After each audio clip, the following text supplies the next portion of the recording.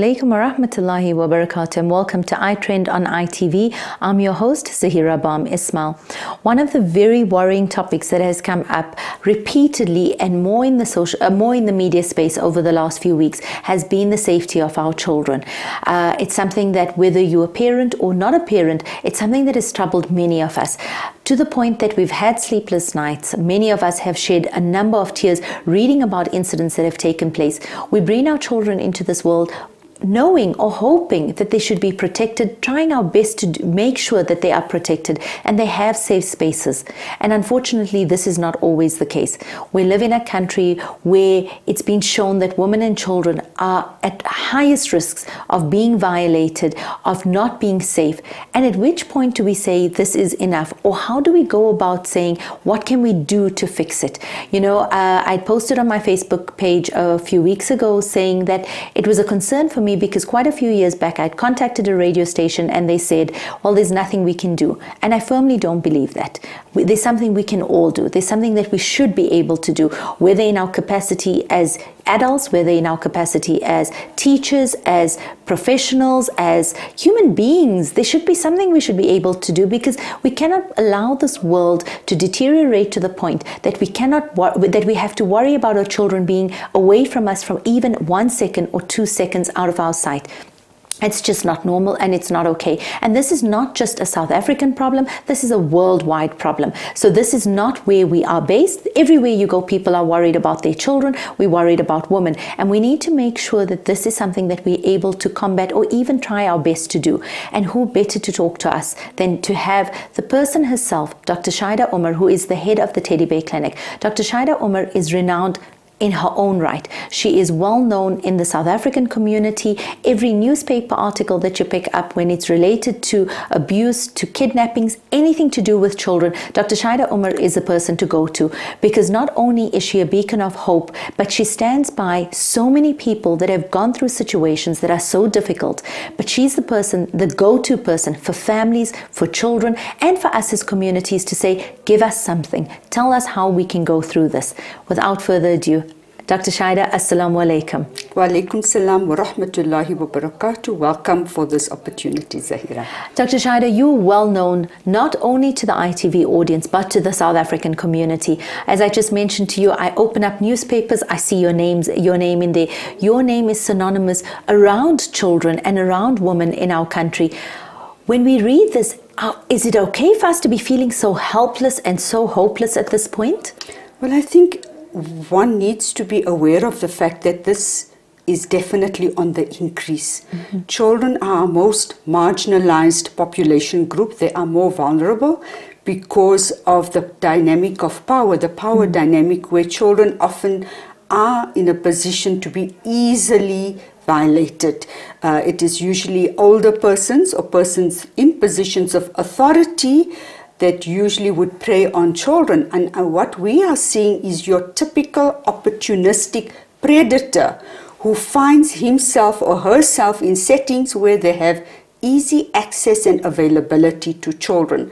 Now, I know that there's been a lot of hype around the Dros restaurant, mm-hmm. and that is not a random, isolated incident. I think we need to alert primary caregivers and parents that this has occurred in numerous other restaurants where there's been jumping castles and recreation facilities where children have fallen prey to your typical opportunistic or preferential abuser or sexual predator who has taken advantage of the situation because often what happens when people go or families go to the mall or to a mm. restaurant to, or to a park people obviously are in a more relaxed yes. mode and can get easily distracted and as you've so beautifully articulated that it is not possible to watch your child 24 11 you cannot let your child out of your sight for one second. I mean, it's it's it's in, um, it's just not possible because that would also stifle and stunt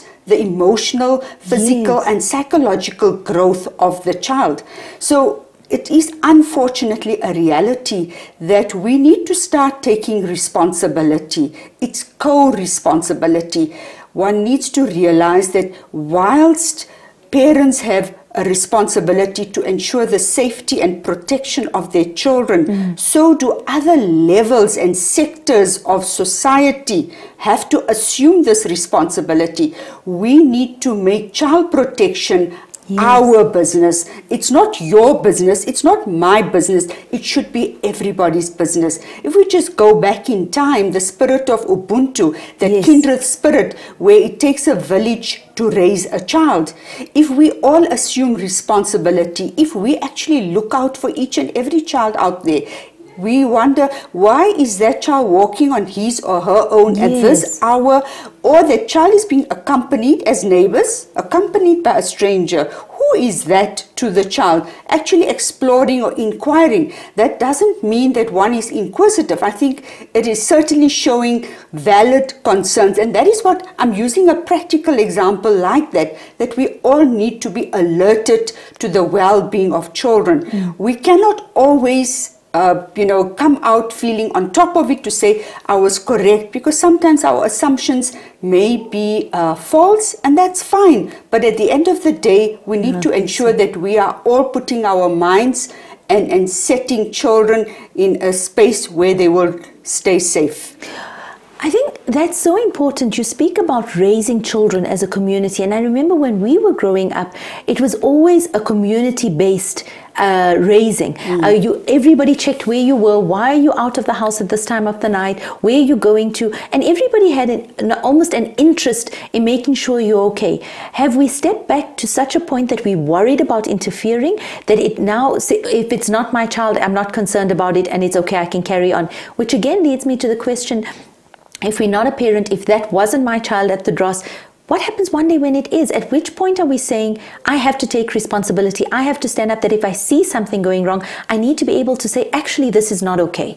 Are we okay in our rights to be able to do that? And I think that's what people need to appreciate and recognize that we need to start acting in good faith. Yes. And if we're acting in good faith, it's not because one is being spiteful or because you may have a Mercedes Benz or you have a more beautiful house than I do, but the fact that you are concerned about my child is certainly showing an act of good goodwill. Mm-hmm. And that is where we all need to start understanding that it's not about invading other people's space or being Yes. intrusive, but it's actually about caring. And, and that is the kind of ethos that we all need to start adopting. Because if we do, do not adopt that kind of ethos, we're going to find that children will continuously be targeted at and at a much higher incidence and the prevalence will certainly eh, increase at an astronomical rate. So I think that is what we need to realize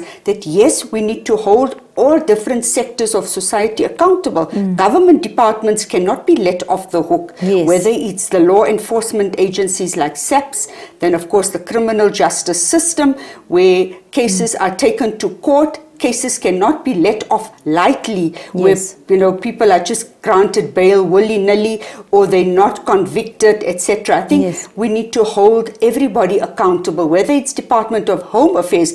You know, how are people Yes. accessing valid documents or work permits, etc. The screening. So I that is what we are talking about when we speak to co-responsibility, holding everybody accountable. Accountable. Even Absolutely. Department of Education has a huge role to play.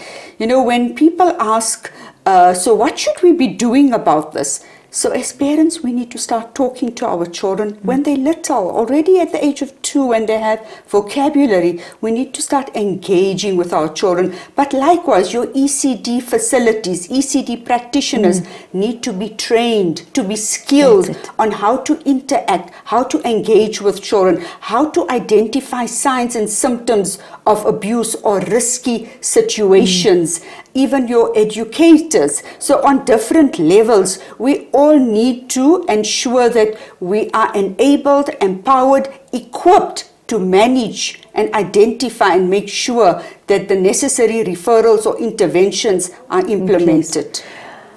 You mentioned, Dr. Shaheda, and I'm going to come back to uh, saying how we can do this for our own children. But when we spoke about the Dros incident, you rightly mentioned, and I'm sure you know in your experience, that this is not a once off thing. We, it's all the time. The thing is, it doesn't always come into the media, so we don't always hear about it, but I'm, I have no doubt you're seeing this on a daily basis. What is happening in our country? Why has this become, all of a sudden, is it become more prevalent or has it become more access to social media? How are we able to say, why is, has there been a link to why we're seeing an increase in this? So there are numerous factors, the risk factors that contribute to this kind of behavior. I think we need to realize that, of course, because of the uh, criminal justice system not being consistent in their responses, it's not a deterrent. Mm.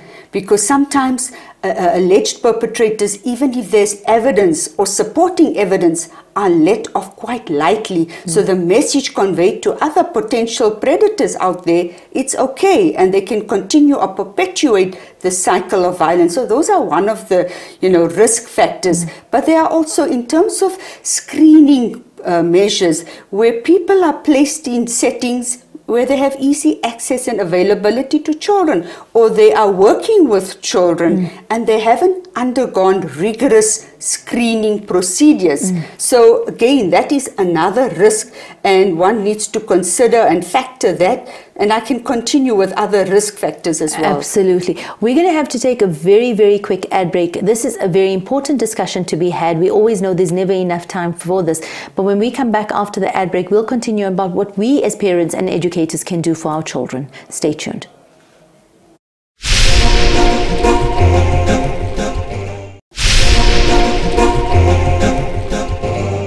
Assalamu alaikum and welcome after that ad break. We're chatting to Dr. Shaheda Omar from the Teddy Bear Clinic, the director of the Teddy Bear Clinic, but the go to person in South Africa for anything related to women and children.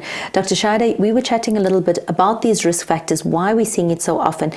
But now, not only are we seeing abuse at various levels, but we're also seeing kidnapping cases. And this is getting worrisome as a parent. Uh, I sit there and I think, I want to do the best I can for my children, but we also can't be blaming mothers for the children not being near them 24 7. But how are we, what are we able to do? What are the tips for us to be good enough parents to make sure our kids live a secure and as safe a life as possible. I know earlier you mentioned starting to speak to your kids from the age of two. Many of us are daunted about being able to have a discussion with our children that also opens them up to know that there are people out there that may hurt them in that way. So, how are we able to broach this topic with our children? Well, I think it's, you know, you are absolutely correct. You don't want to instill uh, uh, anxiety yes. and fear in young children, children that are still just developing and growing and learning to trust mm. their environment. Because if we look at the life cycle of Erikson talks about trust versus mistrust, yes. and children start in exploring internally before they start exploring the external world. So obviously they're going to reach out to them, their primary caregiver, mm. and and one has to obviously take this very seriously and sensitively without uh, traumatizing mm. the child.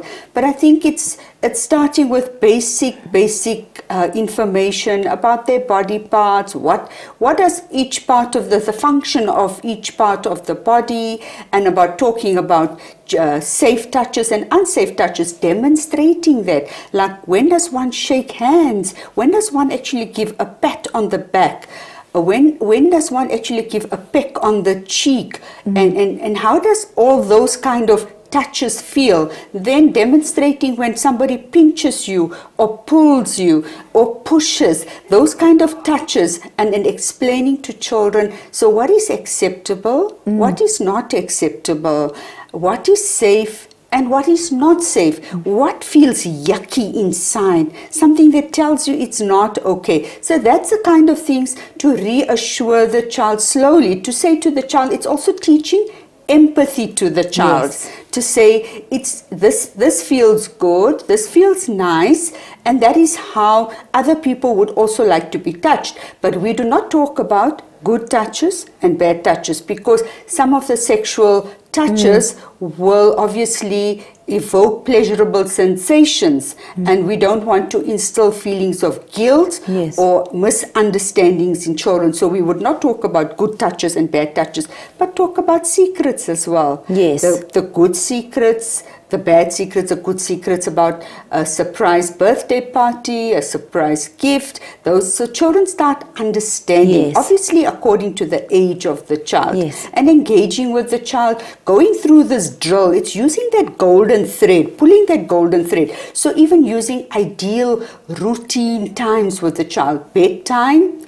Bath time. Okay. Bath time, getting them to identify their body parts again and playing the what if game with the child. So, what if your brother Muhammad came and pinched you?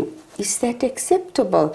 Would that feel okay? Why wouldn't it feel okay? Is it okay for you to pinch your brother? But what I'm saying is to, Make, to uh, an awareness. awareness so the child slowly starts grasping the concept that you can't suddenly tell a child that if somebody comes to give you sweets you must run you must scream you must shout or yell. That obviously is going to instill a lot of fear in the child or confusion and that could result in trauma. So you start planting the seed slowly and gradually ensuring that there's consistency and that uh, reinforcing this regularly because as the child grows older obviously your conversations could become more uh, sophisticated and more in-depth Yes. so the, you know and you just take each child a- and see how it goes individually as well. Uh, Dr. Shaheda, I have to. There's two questions that I have to ask you about. The one is though, when we're talking about things like this, when we're talking about the increase of incidents of abuse, we see many people in adulthood now talking about things that have happened to them in childhood. A lot in our community has been resurfacing as well. But it's always, it's not always strangers. It's not that stranger that's watching in a restaurant or somebody that's out in a mall. For me, that's a little bit more daunting because it could very well be in your own family. Indeed, Zaheerah, as we know, and this is not just statistics, that 80 to 90% of the time it is always somebody that is known to the victim, somebody that has some or other form of relationship to the victim. It mm. could be a family friend, it could be an educator, it could be a sports coach, it could be anybody, it could be a religious instructor.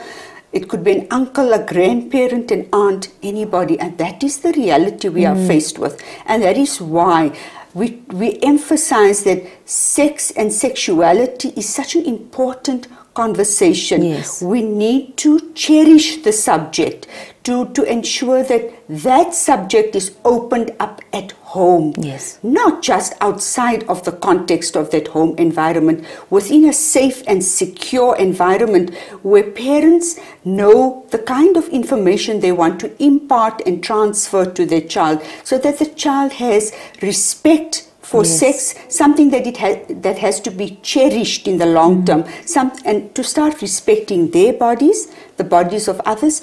It's not teaching your mm. child to go out and and uh, engage in sexual intercourse. Certainly not. Mm. I think if there's that kind of communication, it also gives the child an opportunity and permission if there are any concerns if if an uh, uh, relation or friend, family friend, or anybody known to the child has behaved untowardly towards their child, the child will feel safe enough to actually say, "Mom and Dad spoke to me about this. I'm going to go and share this with them."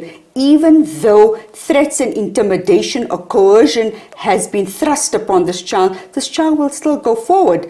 But instead, what happens is parents are shy, they don't know how to begin this Yes. conversation.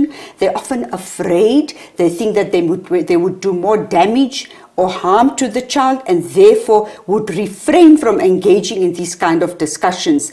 And I certainly encourage family and, and uh, parents to actually go forward and say, you know what, the subject is hard for me. I've given it so much thought. I'm a bit embarrassed. I don't know where to begin. But after thinking this through, I think we need to talk.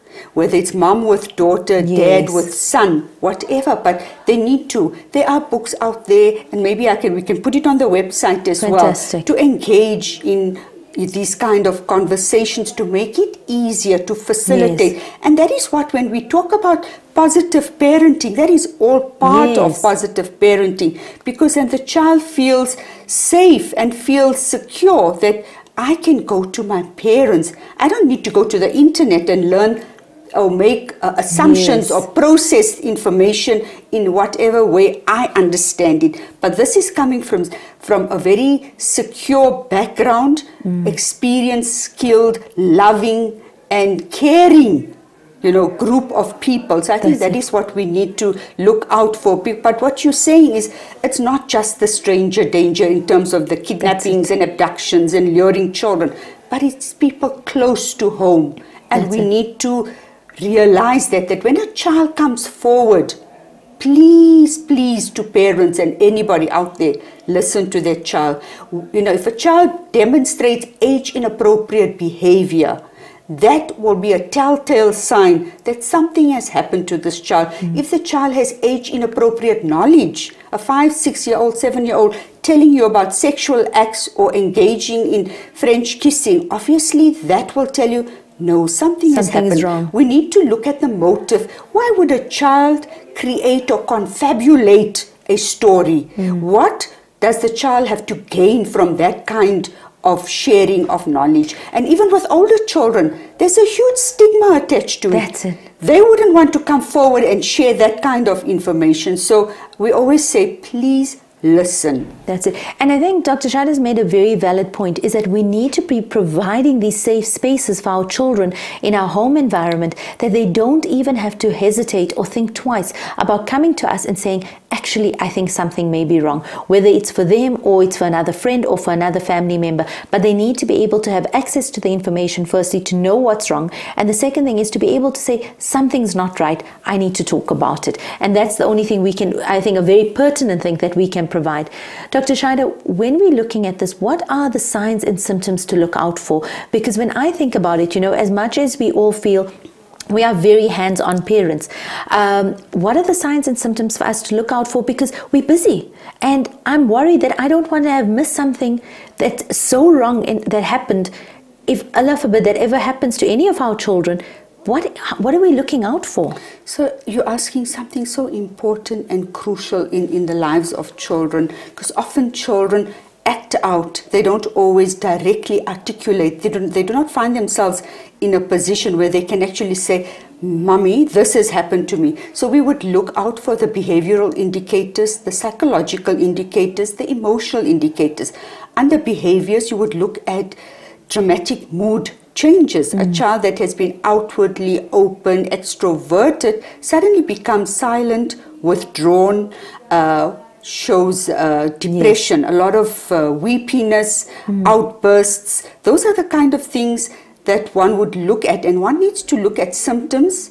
Uh, not in isolation, but a cluster of symptoms. So, more than one symptom. You cannot just jump to a foregone conclusion that something has happened to my child.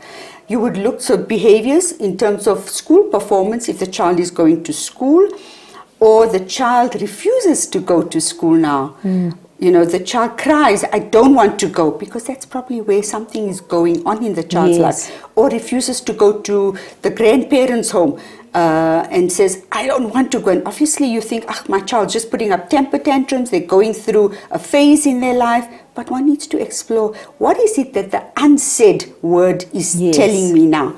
In terms of psychological indicators, here one would see uh, eating disorders, sleeping disorders, recurrent nightmares, a lot of uh, uh, uh, other, uh, you know, when we talk about eating, sleeping, there would also be age inappropriate behaviors where the child could also be sexualizing uh, non sexual objects. Yes. So, and then emotionally, where there might be loss of bowel or bladder control, there might be uh, a child that had a reg, you know regular digestive system suddenly becomes constipated, or they cannot control their bowel or their bladder. So, these are some of the things that one needs to look out for. There are many symptoms. Yes. But I always say, please do not take things for granted because often children will somatize the psychosomatic with psychological indicators. It's the unexplained stomach aches, headaches, and other uh, ailments or pains Mm. that you know medically there's no explanation for. Yes. Dr. Shaheda, I think this is a conversation that is so needed. Um, I know you are a wealth of information, and we thank you for your service to our community and to our country because I think we need more people like you to be a voice for so many of the voiceless uh, that are unable to speak for themselves, for those that are not strong enough to speak for themselves. And shukran for you being you and for being in that position to do that. And thank you so much for making the time to share with our viewers a li- the little that we can start doing to make sure that we do the best that we can by our children. Shukran. Shukran Dalilan, and I just want to say to the viewers out there, evil prospers where no action is taken. It's time now. And I think 2010, when the, the slogan was Ke Nako, I think it's time now. We all need to stand up together and take action. Absolutely. I think Dr. Shaheda summed it up very, very well. This is a difficult topic to discuss, but it's something that's needed to be discussed. We need to discuss it in our households on a continuous basis. Look out for Dr. Shaheda's articles. She's always quoted in the newspapers. Look out for the information that she puts out there. Get in touch with the Teddy Bear Clinic. See what you can do in your schools, in your communities, how you can raise awareness for this. But let's do what we can. And like Dr. Shaheda says, the time is now. If we need to protect our children, I'm not just talking about mine, all our children in South Africa, we need to take an active uh, step forward and we need to make sure that we are responsible as a community and as active participants, active parenting and positive parenting. Let's start making that difference now. Stay tuned. We'll continue the conversation with our next guest.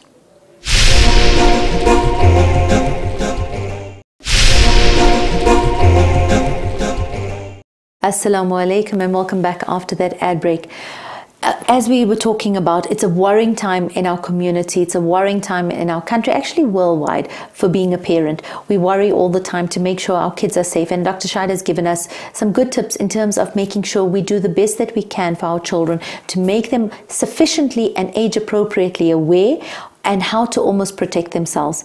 But now in studio with us to continue the conversation on how we can do active and positive parenting, we have a remarkable counseling psychologist, Nadira Lunat Baghdadi.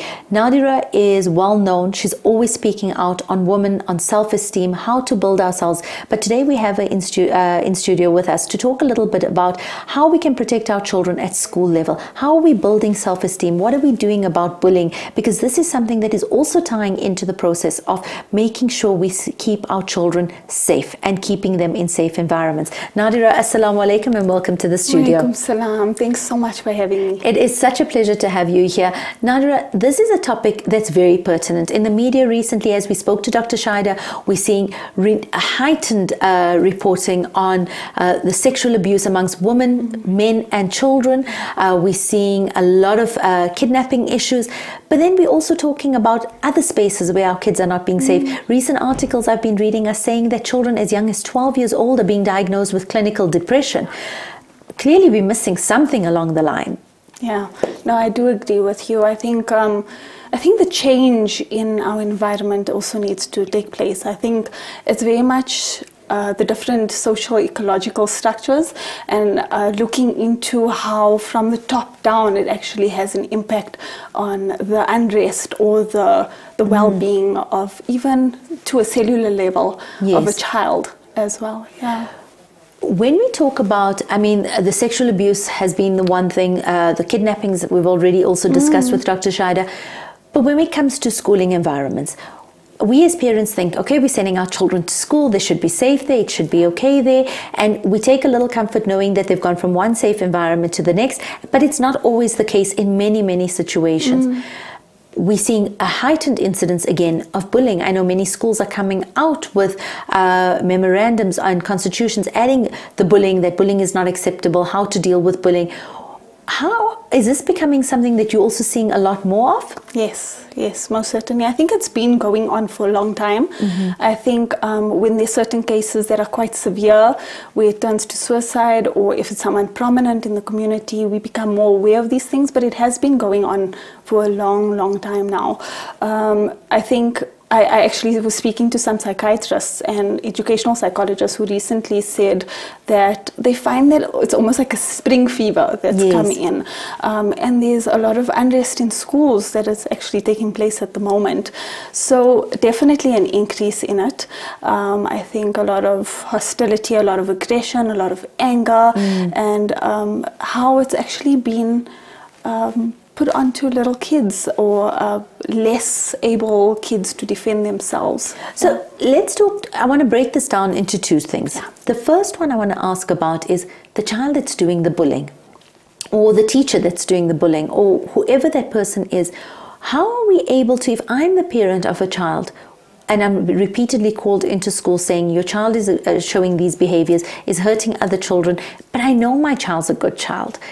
Do I just give up because I'm so tired of being called all the time? What am I able to do, or what am I missing, or what is happening with this child that we need to know about? Okay, I think behavioral difficulties are for a number of reasons. Um, a lot of the time, it stems down to other areas of the life that um, needs to actually be seen to. Um, children usually have misconduct when they feel disconnected. And the difficulty is we're living in a world that is surrounded by um, a sense of separation and isolation. We don't see it, it's very much embedded in our capitalistic society. So, um, and, and you know technology it allows us to be, feel connected but very superficially and uh, that just I think the way that life is structured has allowed us to have that us or myself and other Yes. sort of a, an idea. And as soon as we see somebody as different to us or as a threat to us getting ahead in life or an obstacle in getting ahead, um, it can cause us to retaliate because it really triggers the survival mode within ourselves. So we go into fight, flight, or freeze mode. Um, and that, that is how it manifests into intolerance that we see happening, not only in schools, we see it on social media with cyberbullying as well, but very much in schools as well. I do believe it's also the social and emotional development of children.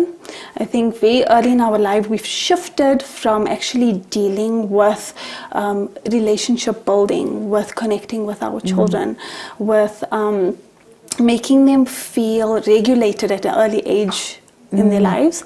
And we kind of surpassing all of that and moving towards being more productive. So we're pressuring our children very early in their life. And it's feeding into the capitalistic values and ideologies Yes. of being competitive of seeing to the individual self other than others. Um, i read an article that actually spoke about uh, a parent's advice to a child that actually said that sometimes on your way to the top you need to step on grass blades. Which gives us a sense of how we as individuals grasp the social um, you know upheaval of the time also the social values of the time and we we grasp as especially when we're little we Yes. grasp all these small things in modeling behavior and things around us computer games all of these things so we do see that children with um, there's been a number of studies done uh, there was a belief that people with low self-esteem would bully by compensating for their low self-esteem but then um, there were others that actually debunked that um, very recently, they found that that would be dependent on other moderating factors. So things Yes. like, if say the school environment or the home environment or even culture um, is very much positive. Yeah. So I- if if it's positive, sorry, the Yeah. self-esteem would be uh, a good thing. Absolutely. But if it's negative, then self-esteem could result in bullying. So I think the context is what we need to focus on a little bit more. Absolutely. And I think you also made a very valid point there about the way we're parenting, that we are competitive. We instill that in our children, that we say, at any cost, make sure you get A, B, C, D. And I don't know if that is positive parenting because what, what we're doing and damaging in the social aspects tends to resonate over and over again in these children's lives for many years to come. Most certainly. I think um, with children, very early in their life, they need because we're social beings by nature. So our biology needs us to feel like we're connected to someone from as early as the child being in their mummy's stomach. Yes. Feeling connected through the mother's voice, through the, through the soothing sound of the mother's voice, and then later on through connecting, even through babbling, through talking to the child, um, through showing empathy and compassion when the child's in pain and smiling back at the child. It gives them the sense that I exist and I'm seen and I'm worthy of being Yes. loved. But uh, very early, we already, when we conceive, I know I've done it as a, a child already planning what gadgets I need, how much I need to budget. And I'll never forget how the midwife actually looked at me and she says, does the child even know what you what you have or what you don't have for them? What are the basic needs? Yes. And I looked at that and I thought to myself, that's so profound because we always already planning what universities they're going to. Are we going to send them to a public school or private school? What's best? Um, and we become caught up in the rut of life, and that already just shows the competitive nature and also the fast-paced nature of our world. Yes. And we actually need to connect with the children very early in their lives, so they're not ready to just be pushed into all of this competitiveness. Um, eventually, then we know terbiyah. That's it. Terbiyah, it's relationship, and through the relationship, character building. But first, the foundation needs to be actually building that relationship with your child, and they're more likely to come to you when they're bullied. Absolutely, because then the doors are open, which is exactly what Dr. Shaheda was saying. We need to be, be able to create these safe spaces so our mm. children are able to come to us to say there's a problem. Now, let's just move on to the child that's being bullied. Yeah. How are we able to do what we need to do to help that child? What if it's my child that's being bullied? What am I doing or not doing as a parent that allows the space to happen? Okay, I think a lot of the time uh, teachers in studies have shown that children who seem weaker um, in any way or less able or competent or adequate are likely to be targets of bullying. But then other studies say, you know what, confident people have been bullied. Yes. Because if the bully chooses that, you know, decides that you're a threat to them, they're likely to bully you. They don't discriminate on that. Um, but things that we need to take into consideration. Nadira, I'm going to just, I'm so sorry to cut you there. I'm going to ask you just to pause so that I don't have to cut that line a little further. When we come back, we've got to take a very quick ad break. When we come back after the ad break, we're going to be speaking about the child that is bullied in a school environment and what we can do to assist and help there. Stay tuned.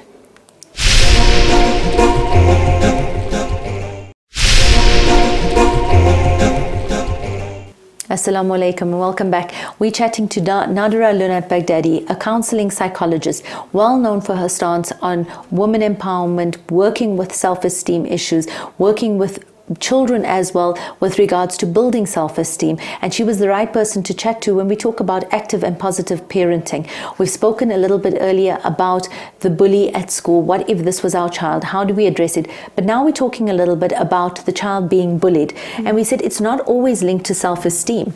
Yeah. So, what if it is my child that's being bullied at school? What am I able to do as a parent to be able to tell my child that this space is your private space and you're not allowed to, well, you're not allowed to, but you shouldn't be letting people violate that space? Mm. And I think that is very important. Like I said, first and foremost, we as parents need to have a relationship with our children. Yes. To be able to get through to them. I think different ages, and we find that children don't always get our care for them the way we intend it to be. So for us to go slow, we all know our children.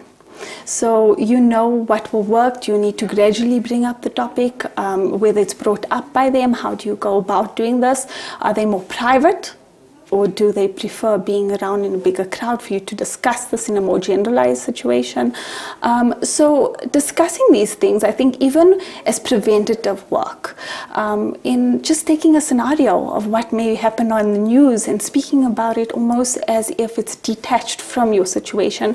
But what would you do in that situation so they can themselves, while they're calm and not in survival mode, not in, uh, in you know that mode where they need to defend themselves, be able to, in a contained place, come up with things that are, uh, will ensure their safety.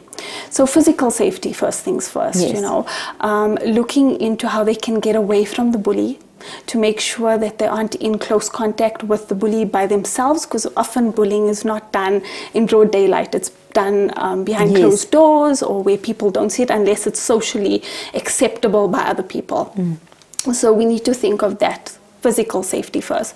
Um, some children want to then compensate for their low self-esteem or for other past hurts by suddenly when they get support become courageous to stand up for themselves just to make them aware and go through their safety and what can be implicated if they do do that.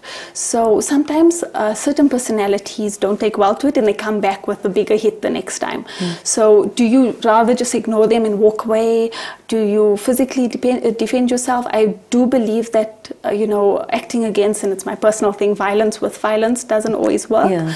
Yeah, and sometimes we find that the ones that are being bullied bully as well eventually. But I have to then ask you also. I understand that those aspects, but we're also moving into a time where we're seeing social media bullying, and this is not just amongst kids. We're seeing this with adults, and we're seeing women in our generations bullying each other on a social media space. How are we able to deal with that while still keeping a sense of self-esteem, a sense of who you are intact? Yeah, it's, it's a huge difficulty. I've seen people break down. I've seen people go into a depressed stupor because of it. There's been stories of suicide as a result of this. Uh, there's even cases of people being on websites um, actually uh, having footage of their suicide attempts, uh, which is quite sad. And this is men as well. So um, we know social media doesn't discriminate between uh, a person that is depressed or not. If they've already got a lot of anxiety, if they're struggling with emotional and psychological difficulties, um, you come in at your own risk. And that's the tough part. Um, Cyberbullying, I think, is a huge difficulty. I think emotionally and psychologically, we haven't been adequately um, taught how to manage uh, cyberbullying. We haven't been taught how to use technology. It's not that technology as a platform is bad, it's that we haven't connected with ourselves. Yes. We haven't learned how to connect properly with other people. So now using this um, sometimes becomes a form of distraction. Yes. It becomes an addiction a lot of the time because we're looking to uh, validate or to fulfill our inner emptiness through actually discussing our our lives and putting our lives onto social media, which allows other people behind these screens then because they're you, you know anonymous to actually um, beat and bully people, um, and it's it's a tough life. Like I said, you go into survival mode because this person could be threatening to your life. Your life may not be as good as that influencer's life, and now suddenly I have the chance to put her down to size to make myself feel better. So, taking all of these into consideration, I do believe that um, entertaining the negativity is just going to allow it to carry on. Absolutely. So, personally, I would feel like just either deleting that comment or just not even noticing it at all, not giving it a second look because it can very well have an impact on you. Absolutely. Yeah. How are we able to build our children's self esteem? Um, I know this is for women as well, this is for anyone who is watching because this is something we all struggle with. But specifically for our children, how are we able as parents to boost their self esteem so that they do have the courage to be able to stand up and say, this is wrong or that's not right, or to be able to say, this is a safe space where I belong? What can we do as parents? Okay, so this starts very early in a child's life, and there's been a lot of controversy around the the whole idea of self-esteem mm. because self-esteem is really uh, a subjective inner evaluation of your self-worth. Mm. And it's often at a given time because it can fluctuate. I can mm. feel good about myself when I'm around kiddies, and then suddenly when I'm around a group of diplomats and people who are, you know, of high caliber, I can feel like I'm nothing, you know. And sometimes it's in comparison. I call it the felony of comparisons like because uh, really w- we tend to do that. We tend to. It's us and the other, and that's again the Yes. separation. When in actual fact, we need to feel connected to other people. So very early in our li- in children's lives, we can teach them emotional and um, emotional and social development. Uh, working on that is very imperative at different ages, knowing the age of the child and the appropriateness of it, as well as their cognitive development, because you know there's stages where concrete um, Yes. development is happening before that, the sense of comparing themselves to others because they know themselves in comparison to a group when they're in earlier um, school going children as well. So there is a difficulty when it comes to um, actually stroking a child's self esteem because we believe the more we praise our children, it's good. But sometimes they become so dependent on outward validation. They depend on it so much so that the inner worth does not um, speak to them. Uh, and, and often it depends on the environments they are. So, self esteem is something that's such a broad topic to actually discuss, but I do believe it's more about self worth, like which that. helps, uh, which actually works through conscious parenting, through um, social and emotional development very, very early in a child's life. And I think the one thing that you've uh, that's been a thread from what Dr. Shaheda said, from what you said, is this connectedness. That because of social media, because of technology, because of the busyness in our lives, we've lost this connectedness to humanity, to each other, which is why we're missing out on so much that's happening. And it comes back to us finding that connectedness again with our children. Definitely. I think as soon, very early now in their lives, if they feel connected to us, it gives us them a sense of being connected to themselves. So the difficulty is the mind and body, um, you know, we know now the mind and body is interlinked. And sometimes when we don't feel connected, and often people um, in a capitalist society, in the modern day life, we don't connect with our feelings. Especially boys, we teach them. We teach them very early in their lives. Boys don't cry, and all of these things yeah which doesn't allow them to then connect with the way they feel but that is the essence of who you are when you're connected with the way you feel you're more likely to be a bit more resilient and it allows you to regulate your feelings Yes. so you're less likely to hurt others because you no longer so um, you know uh, overturned by your own emotions Yes. you um, able to self-regulate a little bit more and also show compassion. So a lot of eq is important. I was going to ask you about that because we've put so much emphasis on IQ and children being developed and children being creative, and we've lost the sense of compassion uh, and EQ, and our children are not able to show empathy uh, to anything around them because, again, as you rightly pointed out, we've become so far removed because of social media, mm. the connectedness to humanity is no longer there. Are we able to teach EQ? yeah eq that's the beauty of it is iq is a little bit more static eq sorry is um, can be taught and that's the beauty of it. Um, so very early or whenever even us as adults we can learn how to and i do it with a lot of people is then connecting to your feelings. Simple things like checking in on yourself all the time. How does that make me feel you know that's Yes. psychologists we know them and we laugh about that stereotype but it's really it has it, has its place it's there for a reason how is this making me feel because often we so focus on the outside world and what people expect we tend not to check in and But you know, uh, you- you're saying that, and I, and I think it's such a valid point because we seldom do that with our children.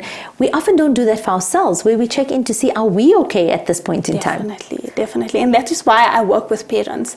I think um, it's important for us to actually look into the parents' well being and for us to become conscious of our own things when we parent with our children because they model our behavior. They pick these things up. Nadira, it's been absolutely wonderful to hear from you, and thank you so much for sharing your insights with us. I think we've learned so much between uh, Nadira and Dr. Shaheda today uh, this connectedness, this active parenting, this providing of safe spaces. And I think the one topic that we'll have to get Dr. Nadira back in studio on is on building EQ, because I think that's something we can teach our children is on empathy as well. So thank you so much for joining us It's here been today. a pleasure. It's been a real pleasure. Uh, topics of discussion today uh, are things that we need far more than just one segment in a show on, uh, whether it's been on the sexual abuse, the kidnapping, the bullying, the self esteem, the self awareness, the connectedness, the active conscious parenting. There's so much that we can do. There's so much that we need to do. As Dr. Shaheda said, the time is right now. What Nadira said is ties in so much for me from what we learn on parenting from an Islamic perspective. That for the first seven years, play with your children. For the next seven years, teach them. For the seven years after that, be their friend. And that ties in so much with the advice being given of allowing them those safe spaces, allowing them to feel that connectedness in our busyness and in our everyday lives of trying to make things work. Let's just slow down. Let's take a moment to be connected to our children so that they feel that they've got us all the time unconditionally. And let's go back into the spirit of Ubuntu and doing community parenting where we are actively responsible for everyone around us. Today has been a difficult topic to discuss on many, many levels, but one that is much needed. And I hope that we do get to pick up the conversation again with our guests in studio and with others out there. And I think it's time that we all started having these discussions. Shukran so much for joining us today. We look forward to seeing you again. Assalamu alaikum wa rahmatullahi wa barakatuh.